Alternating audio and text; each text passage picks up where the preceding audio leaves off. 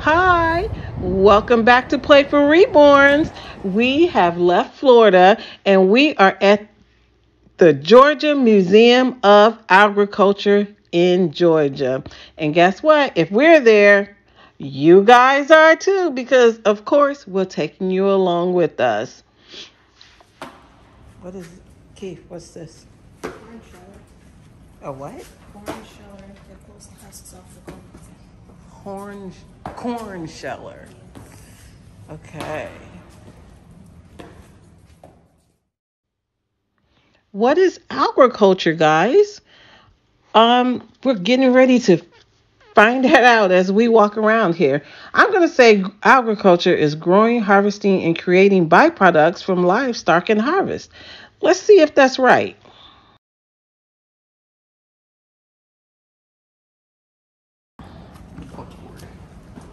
Buckboard? What do you do with that? That's how they travel back then. Oh, with the horses. Yes.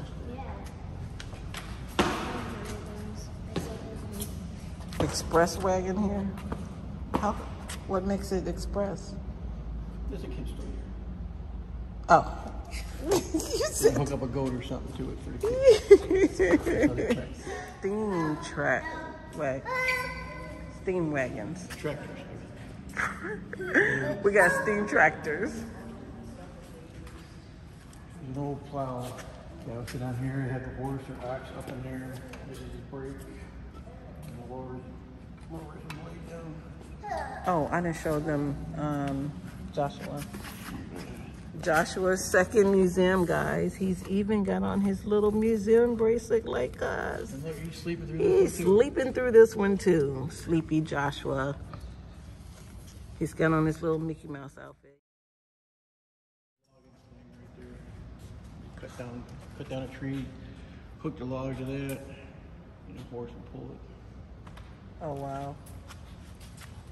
I know you this is. I saw that on Alaska, that that log wagon thing.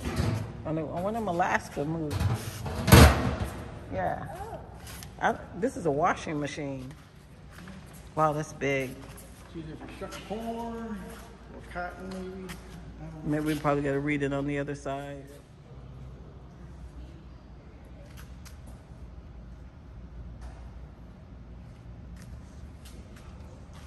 Those are your black powder rifles up there. Black powder rifles. All right, let's keep it moving. We got to get to the next destination. Try to show as much as we can. That looks like something off of a movie. One of the first trucks. One of the first pickup trucks. Model T Ford. Super cool. You got the old crank to start it. Oh, look at the little cranking wheel to start. Remember seeing that in the movies? Yeah, the Walmart. Yeah, the Walton. You're right, the Walton. Pretty red tractor. 1959. Wow. Oh, to weigh the cotton? They gotta have a certain amount of it on the weigh scale or something? Don't know. Wow, look at all that cotton. And what's this? This cotton, cotton bale press. Cotton is processed with a gin. The first cotton gin was created by Eli Whitney in 1794. The original 1794 cotton gin worked a lot like a strainer. Cotton was run through a wooden drum embedded with a series of hooks that caught the fibers and dragged them through a mesh. The mesh was too fine to let the seeds through, but the hooks pulled the cotton fibers through with ease. At first, there were smaller gins that could be cranked by hand, then larger ones that could be powered by a horse and later by a steam engine. Today's cotton gin has changed very little since the 18th century version. However, the modern versions use blasts of air to remove the fibers and are powered by electricity instead of horses. Devices for removing trash, drying, moisturizing, fractioning fiber, sorting, and cleaning have been added. Whitney's hand crank machine could remove the seeds from 50 pounds of cotton in a single day. Today, modern cotton gins can de-seed up to 200,000 pounds of cotton. Cardboard balers in the store. Carbon village, yeah, what about them? This is the same thing with the cotton. Dang, them man look real. Yeah. This is the same thing? Yeah, it's a cotton baler. Wow. looked real for a second there. there's products, there's fun facts. Uh, we're not going to be able to read all of this, guys, but we'll give you a couple of fun facts. About 60% of the world's total cotton harvest is used to making clothing, with the rest used in home furnishing and industrial products. One bale of cotton weighs about 480 pounds. The immature cotton flower bud is called a square. All right, guys, I'll put the camera up there if you want to stop it and pause it, and you can um, finish reading it if you want to. And here's about the products. There we go. Give you a closer look at this guy because he, I almost, I really almost thought he was real for a second there. I was like, ah, he got to be tired standing there.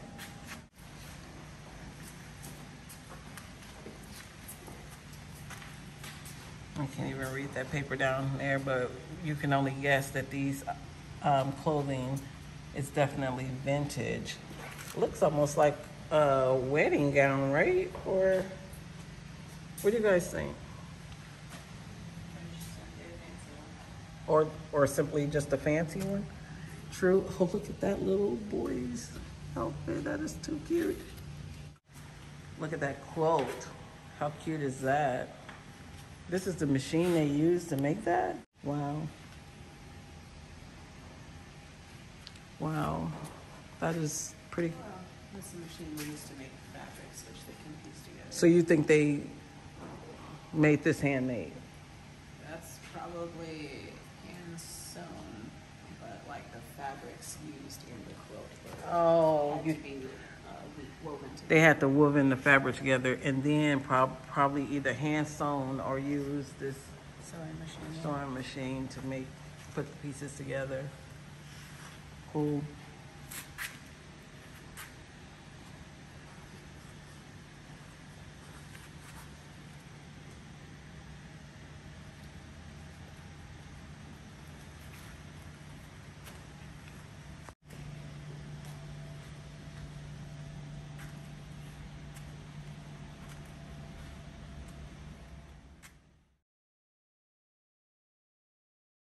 Vintage ironing board.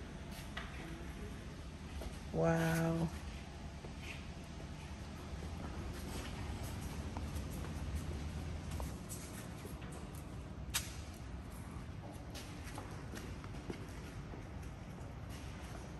So this museum is basically showing you how they made different foods and um, clothing and just things they use to make everyday living stuff, right? Everyday living and eating and Yeah, everything in this main area is harvesting. harvesting. What are, what are these, shoe sizers? Yep, for shoe cover. So he's the shoe, oh, he's the shoe salesman. He makes people shoes. Makes people shoes. He probably fixes them too. Do you used to just love these kind of book, books? I used to love these kind of books. This is right there. All the sermons.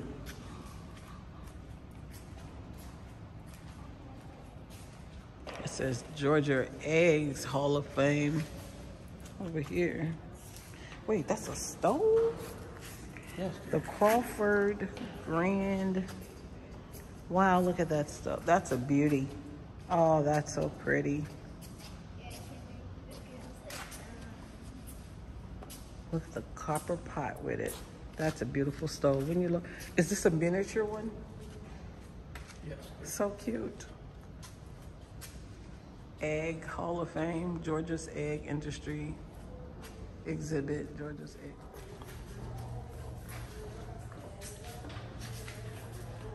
Wow. Oh, wow.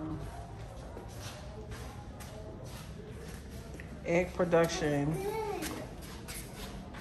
This area is telling you how they produce the, how the eggs are produced and what happens after the chickens, after the chickens lay the eggs, right guys? Yeah.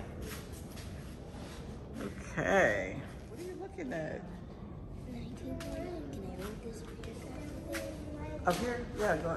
Can you see it to read it? Yes. Okay, go ahead and read When read I was eight years old, I would carry eggs a paper sack and walk five miles to the country store. The man at the store will give me a nickel and an egg. My parents allow me a treat. My favorite thing to do is buy an orange crush and candy bar. They, they cost a nickel.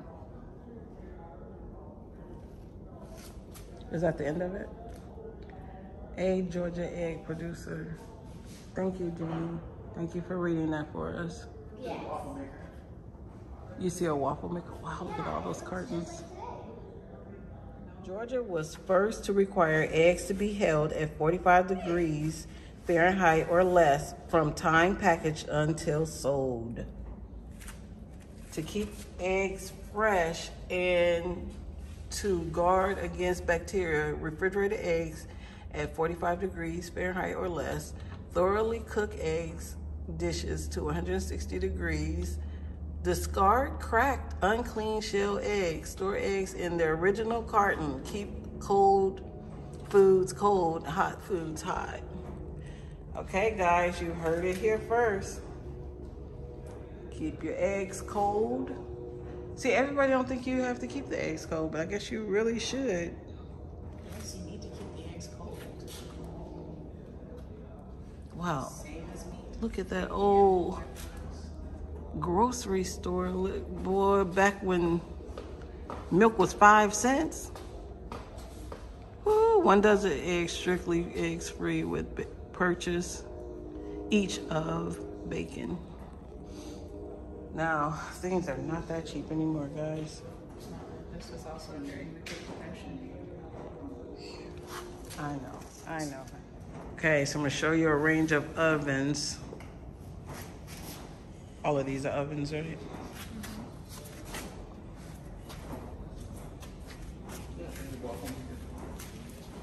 Mm-hmm. Attached to the oven? Mm-hmm. Wait a minute, we gotta look at that. So that doesn't lift up. It does lift up. Walker, waffle maker. Yeah. Cast iron. This is a steamer. Mm-hmm. kerosene and gas stoves. That's what these are, kerosene and gas stoves. and Pressure cooker. Yeah, I noticed the pressure cooker. Not something I would want to have to work with. Because we all know. If you've seen any of my cooking videos, you already know. And exactly why I have problems with that Instapot.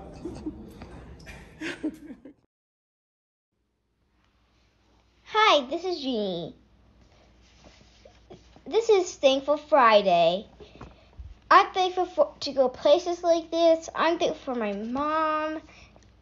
I'm thankful for my food and shelter and my siblings. Bye.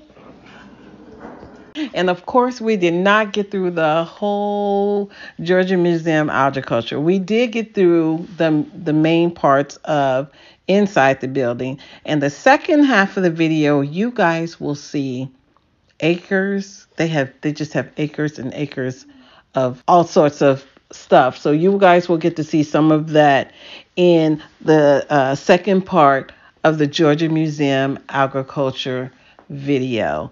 Thank you so much for watching us. I am so sorry that this video went longer than our normal usual videos, but it, there was just so much here to see.